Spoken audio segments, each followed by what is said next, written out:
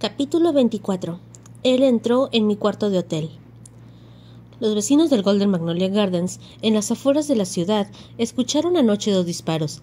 Después de que los residentes llamaran a la policía, ésta acudió al lugar y encontró los cadáveres de un hombre y una mujer en una vieja mansión abandonada. La mujer, Jim Moutin, de 52 años, y el hombre, Lian Mo Young, de 26, fueron encontrados muertos. Los dos estaban relacionados entre sí como madre e hijo, y eran respectivamente la esposa y el hijo del director del hospital psiquiátrico Shenkang, Lian Yisheng. La policía encontró una nota de suicidio en el lugar, ambos vinculados al caso Shenkang, sospechosos de haberse suicidado. Al atardecer del fin de semana, Xie Xinsheng estaba sentado en el tren de alta velocidad cuando vio esta publicación. Frunció ligeramente el ceño y la leyó. El informe es largo, y en este tipo de situación es frecuente, cuanto más grave la situación, menos son las palabras. La esposa de Lian Yisheng y su hijo. Recordó que aquel día en el hospital de Shenkang, la pequeña enfermera que lo recibió dijo, dijo algo sobre la mujer y el hijo de Lian Yisheng. Y fue esta frase la que hizo reaccionar inmediatamente a Heyu, de que el Lian Sheng que conocía a Shishue era falso. ¿Los dos se han suicidado? Xie Xinsheng sintió que esta situación era un poco demasiado conveniente, pero después de todo, él no era un policía. El contenido del informe era demasiado pequeño y ni siquiera había un panorama general. Quería pensar en ello, pero no hay pistas para pensar profundamente. Así que apagó su teléfono y suspiró suavemente. Parecía que el fuego en el techo del hospital Shenkang brillaba aún frente a sus ojos. Yan Lampei se reía histéricamente, diciendo que nadie la había encontrado en diez años y que nadie se acordaba de ella, que iba a convertirse en un fantasma feroz y convertir todo Shenkang en un infierno. ¿Era esto una especie de retribución kármica del destino? Hola, el tren G12 en el que viaja llegará a la estación de Hansu dentro de diez minutos. Gracias por su viaje. Por favor, asegúrese de llevar consigo todas sus pertenencias y bájese del tren. El tren está llegando a la estación de Hanzhou. El anuncio del tren de alta velocidad sacó a Sheng de su contemplación. Le pidió perdón a su vecina y llevó la caja de regalo por el pasillo mientras la niña se sonrojaba y esperaba para bajar. Después de todo, el caso de Shen Kang ha pasado, por lo que ya no quería pensar en el amor de la esposa y, el, y los hijos de Lian Yinsheng. La obra en la que participaba Heyu era un web drama de bajo presupuesto. El escritor es nuevo, el director es nuevo, los actores son nuevos, porque la inversión es muy pequeña, así que la gente es nueva y el atrezo es viejo. Es bueno que la gente sea nueva, todo el mundo se pone a prueba, las mieles del éxito no han sido derramadas sobre sus caras, las suelas de los zapatos no han sido contaminadas por el barro de la fama, y la mayoría de la gente tiene un corazón que solo se esconde detrás de una delgada cavidad del pecho aún capaces de ser sacado el uno frente a otro para ver cuán verdaderos son, o al menos que no todo es completamente falso. Según Shishue, la atmósfera general seguía siendo incorrecta. Cuando llegó al plató en taxi, era la última escena antes de la cena. Antes de que llegara Xie Xinsheng, Shishue había contactado al personal que estaba en el plató y cuando llegó, naturalmente le llevaron a sentarse junto al monitor del director, hombre, para ver la escena en acción. Heyu estaba grabando. Honestamente, Sheng no sabía exactamente en qué tipo de rodaje estaba Heyu antes de venir. Después de verlo durante largo rato, probablemente cualquiera sabría que era un romance de colegio de lo más común. En el drama, Heyu era un carne de cañón al que le gustaba en secreto la protagonista femenina desde hace muchos años. Él era un capitalista, lo que coincide con su temperamento. En esta escena, la confesión del capitalista fue rechazada por la heroína y fue dejado atrás. La escena tenía que rodarse bajo una tormenta. Al fin y al cabo, para un drama con una inversión de 50 centavos, el reparto del grupo hace que incluso de las hace uso incluso de las tías, abuelas, bisabuelas del director y las precipitaciones artificiales se ahorran, naturalmente, cuando pueden serlo. Cuando el tacaño productor se encontró con la lluvia que Dios le dio, empezó a tirar de los actores y actrices para que rodaran la escena. Heyu estaba bajo la fuerte lluvia, repitiendo esta escena en un alto arrebato emocional. Aunque ser director de novela es una profesión afín, era la primera vez que actuaba, pero aún así las emociones de Heyu estaban muy bien logradas. Hacía como si actuara, pero era más bien un arrebato desenfrenado de sentimientos personales. Sheshin Sheng se sorprendió. De hecho, no fue el único que se sorprendió. Todos los que estaban frente al monitor del refugio temporal para la lluvia se sorprendieron. ¡Wow! Este chico guapo no está realmente aprendiendo a actuar. El miembro del personal puso el guion contra el micrófono y preguntó en voz muy baja. Cuando terminó toda la toma, el cielo estaba completamente oscuro. El pobre equipo había construido un simple cobertizo al lado para que los actores descansaran y se cambiaran, y Heyu entró después del rodaje y no hubo movimiento durante largo rato. Sheng le envió un mensaje, y solo después de unos diez minutos el asistente levantó la cortina y salió, sosteniendo un gran paraguas negro como el carbón, y corrió hacia el cobertizo donde estaba sentado Sheng invitándolo a entrar. El cobertizo era muy pequeño, con solo una mesa blanca de plástico para exteriores y unas cuantas sillas. Cuando Sheng entró, Heyu estaba sentado en una de las sillas, secándose el pelo. Cuando oyó el movimiento, levantó la vista y echó una mirada a Sheng. Esta mirada estaba más allá de las expectativas de Sheshin Pensó que Heyu estaría en un estado muy bueno, ya que estaba en una escena tan histérica y emotiva que incluso el personal del cobertizo se vio afectado y dejaría caer unas lágrimas en silencio. No tenía idea de que Heyu se quedaría indiferente después de la escena. Seguiría escuchando tranquilamente la música con sus auriculares Bluetooth puestos, su delgada mano izquierda apoyada en la mesa, con las yemas de los dedos golpeando el ritmo de forma suelta, y todo ello sin atención. Parecía incluso más normal mentalmente que cuando se encontraron en el hospital antes. Sheshue me dijo que vendrías. Heyu se quitó un lado de los auriculares y los arrojó casualmente sobre la mesa. Incluso sonrió a Sheshin ¿Tu alergia está mejor? El corazón de Sheshin estaba un poco relajado. Oh, debía haber muerto. Echó un vistazo a la pantalla del teléfono de Heyu. ¿Qué estás mirando? Las noticias, dijo Heyu, siguiendo lo del hospital mental de Shenkang. La esposa y el hijo de Liang Yingsheng murieron anoche, y los informes dicen que se sospecha que es un suicidio. Lo has visto, ¿verdad? Xie Xinsheng asintió. Heyu sonrió. Esta clase de personas, su esposa, su hijo, han llamado la atención de la gente. Xie Xinsheng no escuchó la melancolía en sus palabras. La caja con el regalo especial de que Sheshue le había traído fue arrojada a los brazos de Heyu. Sheshue te lo envió. Heyu sostuvo el pesado objeto, se quedó en silencio por un momento y dijo: Gracias. Sheshin Sheng lo aceptó con tranquilidad y después de permanecer un rato en el cobertizo, preguntó: Basta de hablar de Lian Sheng. Hablemos de ti. ¿Por qué de repente quisiste actuar? Quería experimentar un poco más. Resulta que se me presentó la oportunidad y me gustó este papel. Sheshin Sheng asintió, acercó una silla y se sentó, encendiendo un cigarrillo. Pero antes de encender el fuego, oyó a Heyu decir: ¿No puedes dejar de fumar? Al haber visto a los invitados de sus padres echando nubes desde que era un niño, Heyu tiene una resistencia a fumar. Sheshin Sheng entonces puso el cigarrillo en la caja, pero inconscientemente se mordió el labio, lo cual es una acción muy adictiva. Heyu le miró. Tú solías fumar. Mm. ¿Cuándo empezaste? Sheng parecía estar en silencio, como si estuviera pensando, y finalmente levantó los ojos y dijo débilmente: ah, Lo olvidé. El hombre hizo una pausa. Parecía que no quería continuar con este tema, por lo que miró al hombre de enfrente a través de la sencilla mesa de plástico. Realmente no actuaste mal. Pensé que te habías metido en el papel. Heyu presionó la punta de la lengua contra la parte posterior de los dientes y luego sonrió. Siempre sonreía. No importaba si estaba bien o de mal humor, nublado o soleado, su sonrisa era una expresión de emoción, casi condensada, en una expresión de amabilidad. La máscara que usaba habitualmente para socializar era una especie de psicodélico rociado a voluntad, que es altamente convincente y permite a la gente ver su interior. No, no soy tan estúpido. ¿Quién se tomaría en serio cuando actúa lo que otras personas inventan?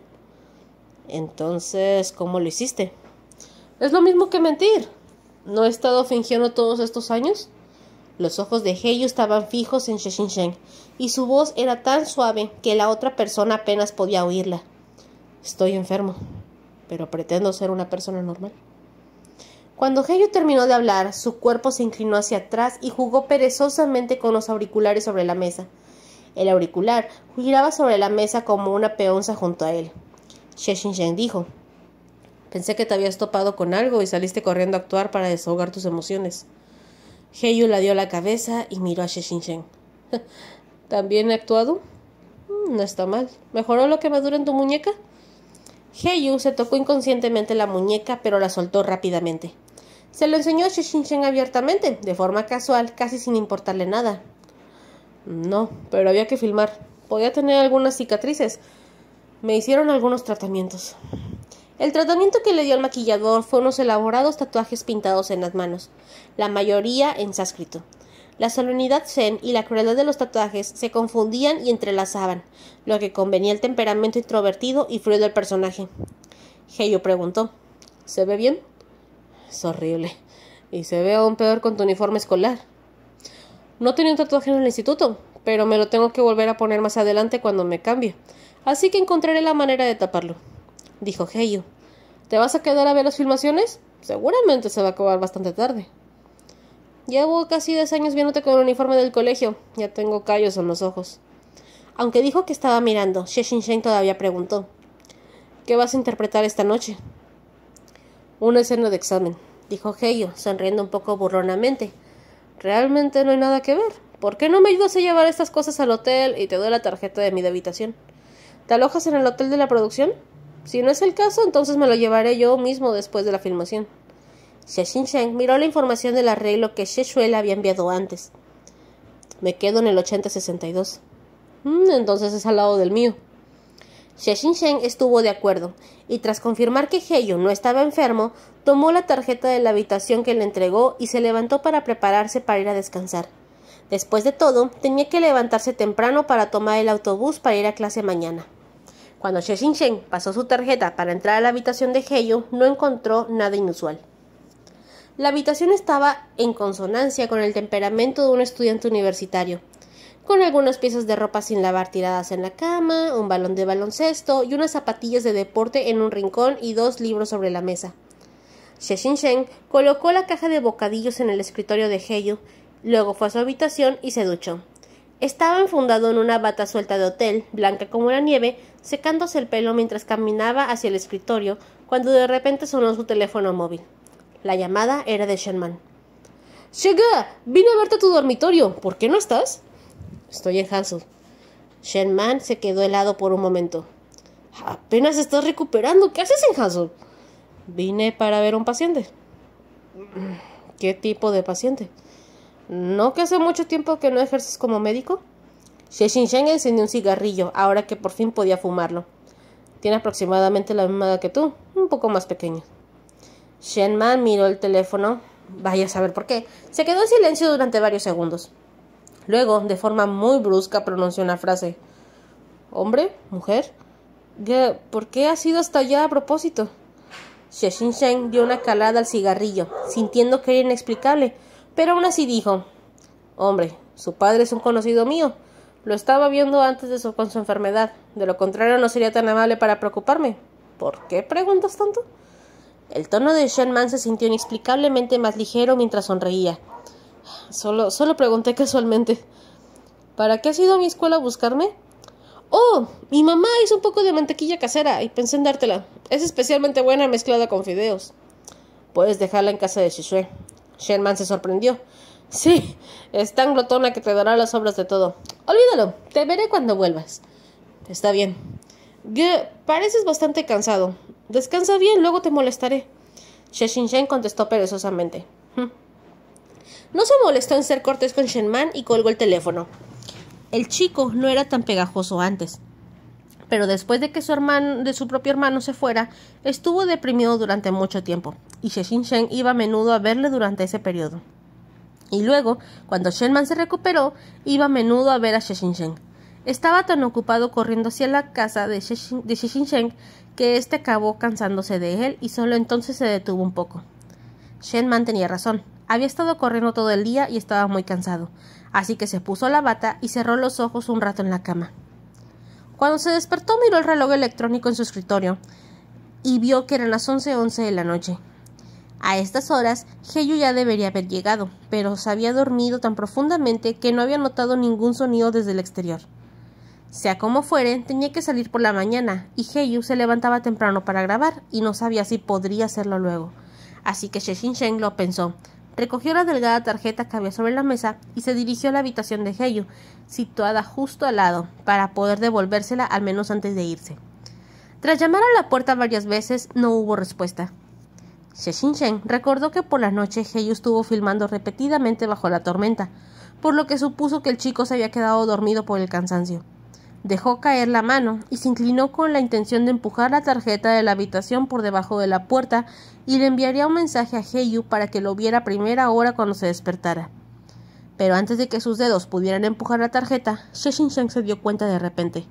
La luz de la habitación de Heyu estaba encendida. La luz no era muy brillante, Solo una lámpara de pie estaba encendida, pero a través del hueco de la puerta todavía se podía decir claramente que había luz en la habitación. El corazón de Sheshin dio un respingo. Se levantó a la puerta, se levantó y llamó a la puerta con una voz más fuerte. Heyu, ¿estás ahí? He venido a devolverte la tarjeta de la habitación. No hubo respuesta. Sheshin sacó su teléfono móvil y marcó el número de Heyu, y poco después el teléfono móvil de Heyu sonó detrás de la puerta. Estaba tan preocupado por el estado de Heyu que Sheshin Shen llamó dos veces a la puerta y luego alzó la voz hacia la puerta color topo cerrada. Heyu, si no haces un ruido, pasaré la tarjeta y voy a entrar. ¿Me has oído? Todavía no hay respuesta. La tarjeta, apenas gastada de Sheshin Shen, se conectó a la tira de sensores con un suave tic y la puerta se abrió. Había pesadas cortinas en el interior de la habitación y ésta olía fuertemente alcohol. Tenía un mal presentimiento. Recorrió con la mirada el dormitorio y en un rincón vio al chico que se había acurrucado en un ovillo. Sus peores sospechas se hicieron realidad en ese momento, y Xie Shen soltó una cachetada, soltó como una cachetada. ¡Tú! El chico, como un dragón en una jaula, se movió un poco, pero no reaccionaba mucho. Xie Shen finalmente llegó a la verdad bajo su disfraz. Su intuición no estaba equivocada. No era que Heyu estaba salvando el día sin razón y había venido al plató a matar el tiempo. Lo que representaba era un estado real. Sí, necesitaba desahogarse. De hecho, Heyu había estado enfermo desde que supo que a Sheshue le gustaba a Wei Donghen, pero fue capaz de contenerse de caer en una situación más grave. Cuando se dio cuenta de que estaba mal, acudió inmediatamente al hospital para que le recetaran la medicación, y más tarde se dirigió al plató de filmación para ensayar. Todos los días, durante el día, todavía podía fingir que estaba tranquilo en persona.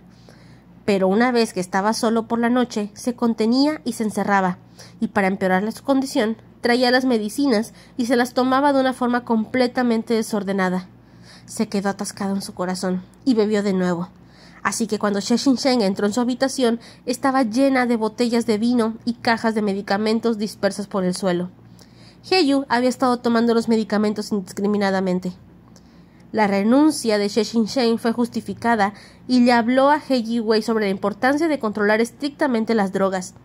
Le advirtió que si estos medicamentos también fallaban y el estado de Heyu se deterioraba, podría ser llevado a un hospital para su control físico. Ni siquiera dijo tratamiento. Era lo mismo que para los del hospital psiquiátrico Shenkang. Control, cinturones de sujeción, descargas eléctricas, confinamiento. Encerrarlo, lo único que podía hacer era convertirlo en una bestia que usara bozal y grilletes para evitar que pueda lastimar a otros. Heyu sería un loco hasta la médula. El médico no podía ver a su paciente abusando de sí mismo, por lo que Sheshin Shen se acercó a Heyu con algo de enfado en su voz. Heyu. Heyu. Heyu. El chico finalmente se movió. Esos hermosos ojos albaricoques se abrieron bajo las pestañas gruesas y delgadas, se movieron lentamente hacia el brillo de la lámpara de piso y luego al que todavía estaba vestido con una bata de baño Sheshin Eres tú. Entonces, sin esperar a que Sheshin respondiera, apoyó la cabeza en la mesa de noche y dijo en voz baja Por Dios, ¿qué haces aquí? Es que Estoy muy cansado del trabajo, he bebido algo de vino. No mucho. Tú, tú puedes. El alcohol mantenía a raya su sed de sangre y violencia, y hacía que su mente se volviera nebulosa. Él siempre, un, astuto joven, se inventó cualquier mentira decente para maquillar la realidad en ese momento. Pero de hecho, estaba demasiado cansado para seguir haciéndolo. Vete, no seas entrometido. Por toda respuesta tuvo un dolor en la muñeca, con la fuerza de un hombre. Fue arrastrado por la persona antes de que se recuperara y arrojado en el sofá. Ya sentado y con la visión borrosa, Heiyu pudo reconocer en la cara sombría de Sheshin algo familiar. Un par de ojos de flor de melocotón. Heiyu, como si lo hubieran apuñalado, giró de repente la cara y miró fijamente a un inocente cuadro que había en una esquina. El cliché del hotel Cielo estrellado de Gogh, la noche distorsionada, con todas sus estrellas caóticas. Su voz nasal es pesada y el tono se esfuerza por ser tranquilo, pero sonaba débil. Sheshin he dicho que estoy bien. ¿Qué haces aquí todavía? ¿Qué importa si estoy borracho? Sheshin dijo. ¿Crees que estoy dispuesto a preocuparme por ti? ¿Qué clase de palabras estás fingiendo ahora? Heyu no se molestó en prestarle atención y levantó la mano para taparse los párpados. Fue en ese momento cuando Sheshin pudo ver bien su muñeca a través de la tenue luz de la lámpara. Los tatuajes se han borrado. El maquillaje utilizado para cubrir el color de base tampoco existe ya. Y desnuda, en la muñeca del joven había una espantosa cicatriz profunda y duradera. El corazón de Shen se hundió. ¿Te has vuelto a cortar la muñeca? ¡Demonios! ¿No puedes controlarte? Estás cortando tu muñeca otra vez. Shen realmente quería ocuparse de él. Pero cuando pensó en el ébola mental y en lo que había hablado con He Wei, Shen apretó los dientes y dijo Bien, voy a arreglarlo contigo. Lo arreglaré contigo, ¿de acuerdo? Con eso se dirigió al escritorio de Heyu. Allí había una caja que era un pastillero con medicamentos. Date prisa y tómate esto. Al volver al escritorio, Sheshin Shane trajo una gran taza de agua caliente y le sacó dos píldoras que había elegido para que tuvieran un efecto calmante. Se los entregó a Heyu, que seguía sentado en el sillón con las manos sobre las rodillas. La cara de Heyu se inclinó un poco. ¿Quieres tomártelo tú o te lo meto por la fuerza? Tómatelo, tómatelo y te controlaré. Joder. realmente no quería volver a ponerse en vergüenza en frente de él, por no mencionar que Heiyu estaba más que mareado por todo el alcohol que había tomado. Finalmente, levantó los ojos con desgano, tomó la píldora de la mano de Sheshin y la tomó de la taza de agua. Terminé de tomarlas. ¿Ya está bien? Agarró la muñeca de Heiyu. Siéntate. Heyu le pidió fríamente que soltara su mano retirándose. Siéntate para mí. ¿Significa que eso que te ocuparás de mí después de que yo tome la medicina? Heyu apoyó la cabeza en la pared con un nudo en la garganta que subía y bajaba. Shashin no le respondió. Heyu cerró los ojos. Mejor déjame estar tranquilo, ¿quieres? Las largas pestañas del joven se cerraron y su nudo en la garganta se movió hacia arriba y hacia abajo. No me molestes. Parecía realmente deprimido, muriendo. Incluso los peces moribundos se agitarían y rebotarían por el deseo de sobrevivir. Pero Heyu parecía resignado a Dios, solo esperando aquel último aliento de oxígeno que se escapaba de su pecho. Sheshin Sheng agarró su muñeca y le miró, con sus ojos de flor de melocotón abatidos. Fue muy severo. ¿Qué te ha pasado? Eres un enfermo mental. No hay nada de qué avergonzarse. Culpa, equivocaciones, enfermedad es parte de ti. Heyu, hace siete años creí que podrías evitar caer en la enfermedad otra vez, y ahora te tratas a ti mismo de este modo. Heyu, con las muñecas aún agarradas, solo inclinó la cabeza y frunció el ceño al sentir que su corazón latía cada vez más rápido bajo la influencia del alcohol y las drogas, tan rápido que casi le hizo entrar en pánico. La mano de Sheshin Sheng lo estrechaba, como si estuviera tomando su pulso como ya había hecho en innumerables ocasiones, se esforzó por ocultar su mente y evitar que el foco de su enfermedad fuera traspasado. Heyu se dio cuenta vagamente de que esto ya no funcionaría, e instintivamente empezó a luchar. Su muñeca intentaba salirse de la palma de la mano. Los dos tiraban con más fuerza. La embriaguez de Heyu se hizo más profunda. Finalmente, se apoyó en la pared que tenía detrás y echó la cabeza hacia atrás, jadeando, con el pecho agitado. No me dejas ir, ¿verdad? La cabeza del chico se inclinó, y cuando le miró de nuevo sus ojos estaban inyectados en sangre, mitad por la borrachera, mitad por el odio. Se burló. Sí, tienes razón, no estoy feliz. No, no soy feliz, no puedo controlarme. Todo es tal como lo predijiste, ¿bien? ¿Satisfecho? ¿Quieres pensar que soy una broma? Mírame. Sheshin Shen dijo con una cara osca. La primera vez que te vi pensé que eras una broma, pero te miro por tu papá. Tengo miedo de que te pase algo. ¿Tienes miedo de que me pase algo? Heyu fue casi sarcástico. Sus ojos estaban rojos. Nuestra relación médico-paciente ha terminado. ¿Qué estás haciendo por él? ¿Te pagó? ¿Quieres dinero? Lo hiciste por él. Mi padre solía prostituirte por nada y tú también lo haces. Cuando terminó de decir esto, retiró su mano con fiereza y su mano se soltó en la mano de Sheshin Shen, que estaba atónito. Sheshin Shen no sabía lo que para los jóvenes significaba ser prostituido por nada, pero sintió que le provocaba y le reprendió con severidad. ¿De qué hablas? ¿Es una puta? Es tu padre, no es como tú. Escuchas a mi padre y haces todo lo que te pide. Luego vas a él y le pides que te pague antes de decirme nada. De todas formas, no me, no me puedo permitir contratarte. Heyu estaba un poco borracho y su espíritu estaba deprimido. Se burló, mirando a Sheshin Si realmente quieres ocuparte de ello, también puedo prostituirte por nada. Prostituirte lo que significa pagar dinero, doctor Xie. ¿Le gustaría? Sheshin miró los ojos de Heyu mojado, vacío, autodespreciándose, ridiculizándolo, aunque las gruesas y profundas pestañas lo cubrían, aunque la luz circundante sea tenue como es, esos ojos pueden transmitir sus emociones desordenadas. Heyu inclinó el cuello hacia atrás, inclinó las mejillas hacia los lados, y los extremos de sus ojos parecían estar llenos de lágrimas, y sin embargo seguían sin caer. Simplemente se echó hacia atrás y le miró con recelo y le preguntó Esto no es divertido, ¿verdad, Shishinshank?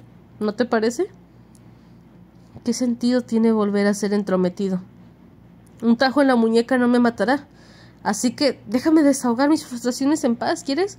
Hago lo que puedo, no he matado a nadie ni he prendido fuego. Me he hecho daño a mí mismo, bien. Estoy deprimido. ¿Qué tiene que ver mi depresión contigo? Todos ustedes están, están tratando de matarme. Es suficiente. La mente de Heyo era cada vez más confusa y su conciencia se desvanecía a un ritmo visible a simple vista. Normalmente no hablaba demasiado con Sheshin y solo cuando se emborrachaba se volvía irritable y hablador. Sheshin se limitó a mirarlo. Habló un rato y luego de repente levantó la mano y cubrió los ojos de Heyu. Los ojos fueron bloqueados y Heyu se quedó como aturdido cuando de, repente agarró la muñeca de Sheshin Su fuerza no era para nada ligera, pero su voz era muy suave, casi como un susurro. Sheshin tenía los ojos vendados por él, sus labios se abrían y cerraban bajo la palma de su mano. ¿Qué es lo que quieres hacer?